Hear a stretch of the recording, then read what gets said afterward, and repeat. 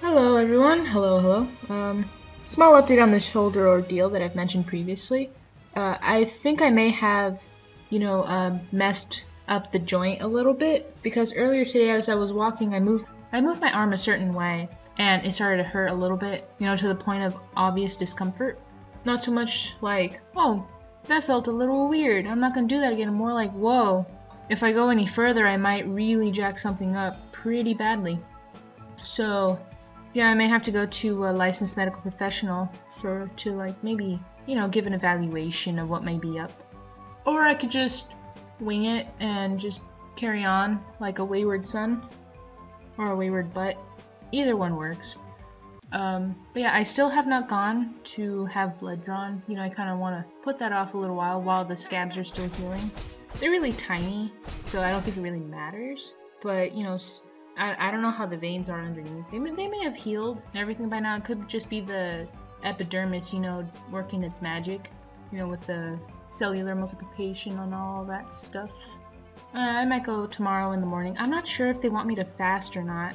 Uh, but even then, you know, by the time, you know, I go to sleep up until I wake up, which could be pretty early since I get up about 6-ish every day. You know, it could be fairly early in the morning. Plus, it's a it's a clinic, so I don't know how long the wait time's gonna be. Please excuse me while I assess the temperament of my cat. She's running around and she has this weird body posture. Alright, brief intervention by my cat. I may have to make another pause again later on in the in the video because she's still pretty hyperactive right now. She's doing the butt wiggle.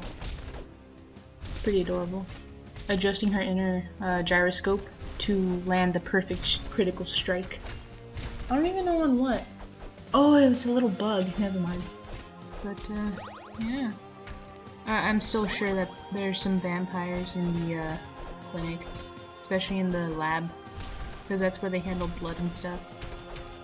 Maybe it's where they go to, um, harden their, you know, um, their, their craving.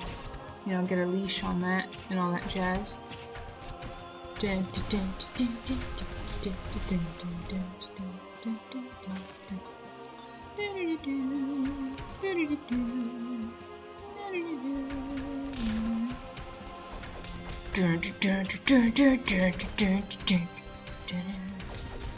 So I played Red Dead Redemption again earlier today, as always, and I finally completed the California Stranger mission.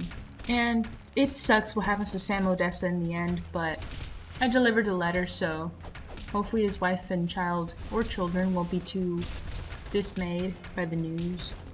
But yeah, Sam Sam didn't listen, therefore things happened and they were not nice.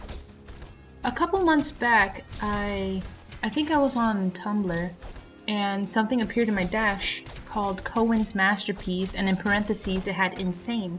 And the thumbnail was the overhead view, you know, downwards onto a piano, a keyboard, with hands on it.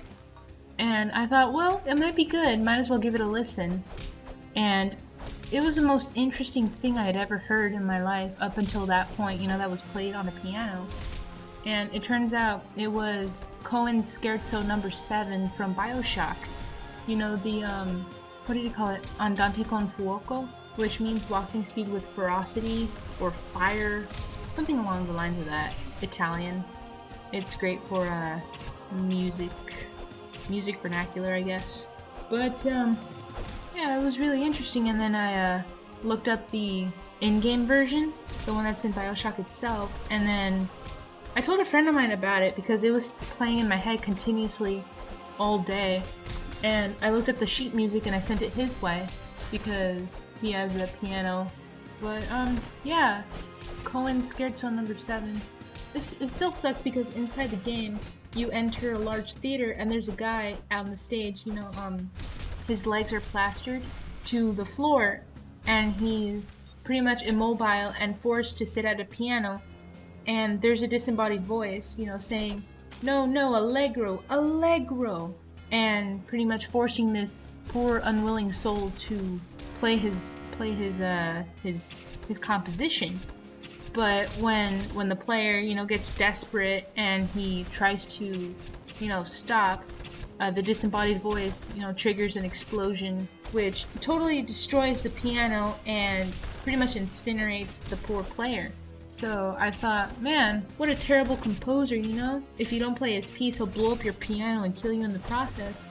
You know, not only not only um, reducing the musician count by one, but destroying an entire instrument, whereas you could have just brought in another unfortunate victim and play that instead. But no, you had to kill two birds with one explosion.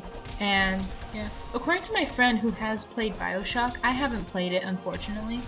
Um, according to him, afterwards he kind of enlists you as a sort of helper. You have to go on some quests.